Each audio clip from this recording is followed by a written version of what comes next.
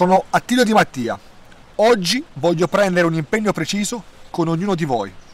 Se mi sceglierete come sindaco, mi batterò con tutte le mie forze contro sprechi e privilegi. Se tutta la città si stringe attorno ad un progetto di rinascita, se uniamo le nostre forze per un cambiamento vero, sono certo che riusciremo ad ottenerlo.